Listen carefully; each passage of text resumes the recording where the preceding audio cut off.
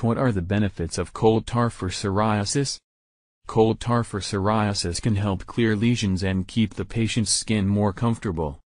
This topical medication comes in formulas designed for the skin, face, and scalp, such as creams and shampoos.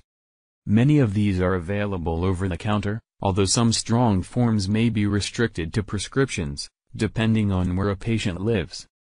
People have been using coal tar for psoriasis for a very long time, illustrating its efficacy. Despite the fact that it is messy and smelly, patients continue to rely on it. The compound is a byproduct of coal and petroleum processing, and tends to be dark brown to black in raw form.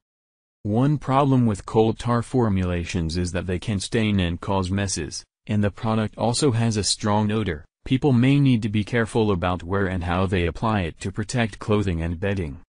If the formulation has a lower percentage of coal tar, these issues are not as significant, but it can also be less effective. Patients with mild to moderate psoriasis tend to benefit the most from coal tar. When they apply the substance to their lesions, they should notice an improvement within several weeks. The scaly, harsh, dry appearance of psoriasis plaques can start to resolve, along with itching and inflammation.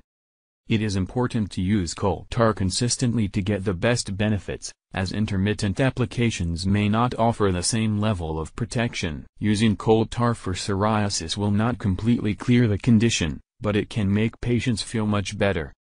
In some cases, it may be combined with other treatments to offer the patient a mix of options. These can include light therapy and other topical drugs along with oral medications. Periodic evaluations can determine how well the patient is responding, to determine if the benefits of the treatment are outweighing the risks of irritation. Some precautions do need to be taken with coal tar for psoriasis.